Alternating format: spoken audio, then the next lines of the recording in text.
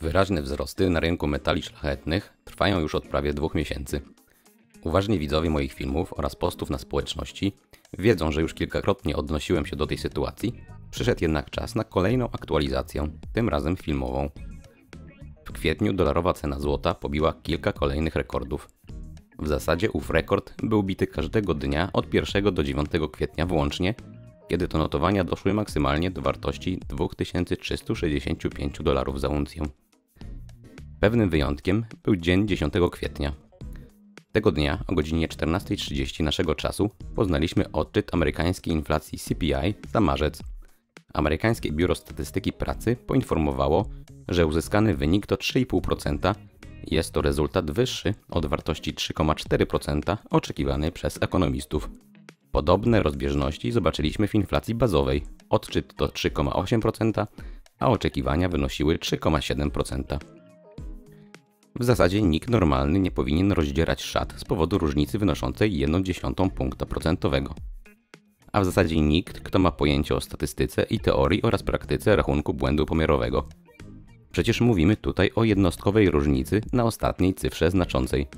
Tak naprawdę owa rzeczywista różnica wcale nie musiała wynosić nawet 1,1 punktu procentowego, bo przecież trzeba pamiętać o efekcie zaokrąglenia. Jakiś statystyk opracowujący dane mógł dostać ostateczny wynik wynoszący 3,46% i podał ostatecznie wartość 3,5%. Gdyby jednak otrzymał rezultat 3,44, czyli tylko 0,02 punktu procentowego niższy, zaokrągliłby go do 3,4% i okazałoby się, że marcowa inflacja idealnie zgadza się z tym, czego oczekiwali ekonomiści. Rynki już dawno nie zachowują się jednak rozsądnie i ów błąd zaokrąglenia spowodował, że wykres metali szlachetnych z tego dnia wygląda jak EKG. Tylko, że dla złota jak dla pacjenta zdrowego, natomiast dla srebra jak dla zawołowca.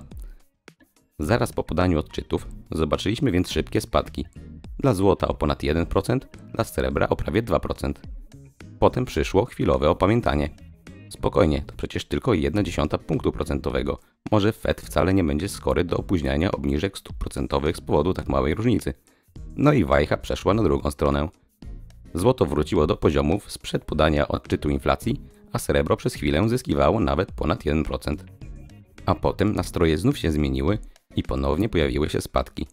W efekcie dzień zakończył się niespełna 1% minusem na obu metalach.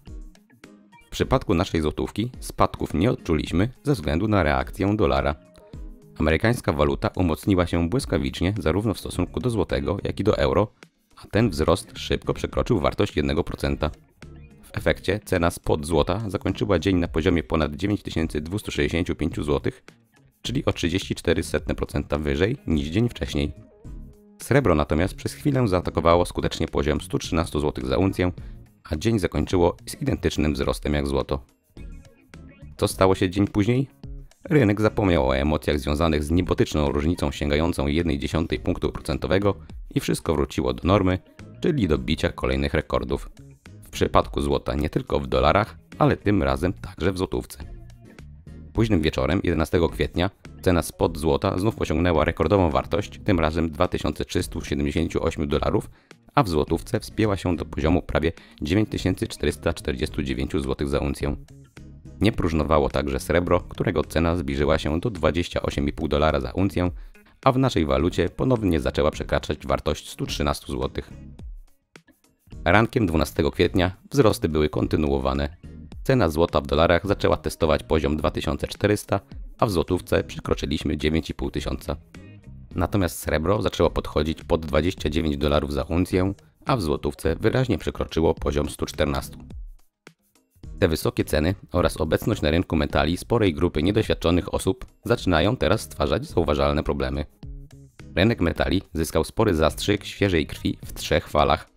Najpierw w pandemii, potem po wybuchu wojny na Ukrainie, a następnie w kryzysie bankowym z marca 2023 roku.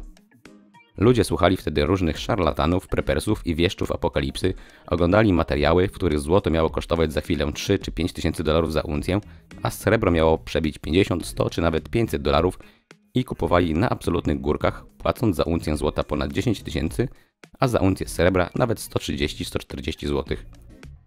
Nie zadali sobie jednak trudu, żeby podczytać lub obejrzeć rzetelne materiały o inwestowaniu w metale z których dowiedzieliby się, że w tym przypadku nawet czas inwestycji wynoszący 5-10 lat jest za krótki, bo trwające tak długo trendy boczne na obu metalach nie należą do rzadkości.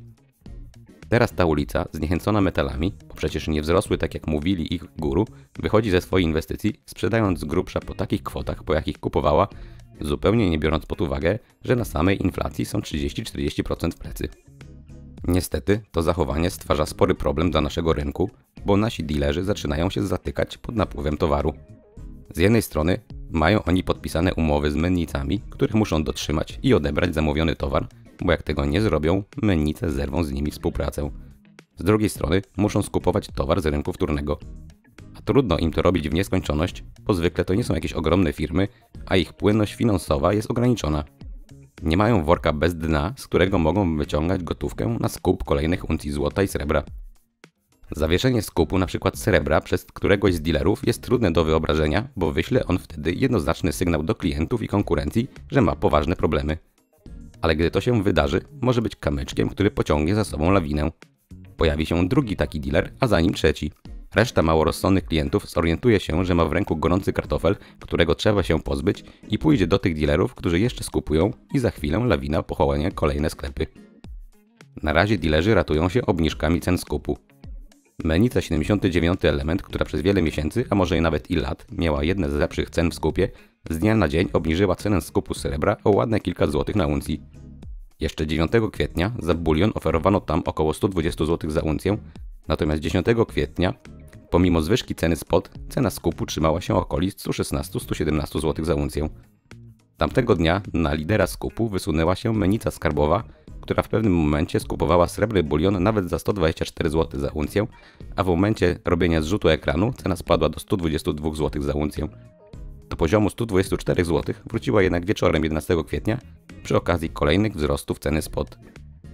W przypadku sklepu Metal Market dla niektórych monet bulionowych cena skupu jest tam podana jawnie i sięgała 121-122 zł. Tavex, który jeszcze kilka, kilkanaście miesięcy temu bardzo ładnie ucywilizował rynek srebra, wprowadzając tam spready na poziomie 6-7%, teraz zmienił swoją taktykę diametralnie. Najmniejszy spread na srebrnym bulionie z kanonu sięga u niego prawie 12%.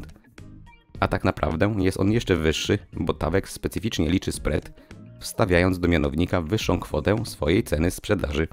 A przecież zawiera ona podatki i marże, a więc w mianowniku powinna znajdować się cena skupu, która bardziej odpowiada realnej i aktualnej wartości kruszcu.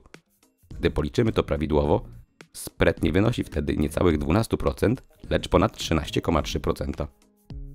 Tym poczynaniom trudno się jednak dziwić, bo rynek szaleje i w momencie, gdy jedni skupują kanoniczny bulion za ponad 120 zł za uncję, w innych sklepach walory trochę mniej kanoniczne można kupić za 119 zł za uncję, a jeszcze chwilę wcześniej można to było zrobić nawet za 116 zł.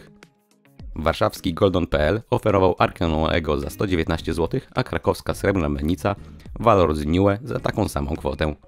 W przypadku złota też nie ma normalnej sytuacji, bo już wcześniej pokazywałem Wam oferty na złotego Krugeranda w cenie niższej od ceny spot. Teraz już takich nie ma, ale wiele monet bulionowych daje się kupić w cenie około 1% powyżej ceny spot, a 20 frankówki w Metal Market są oferowane praktycznie w spocie.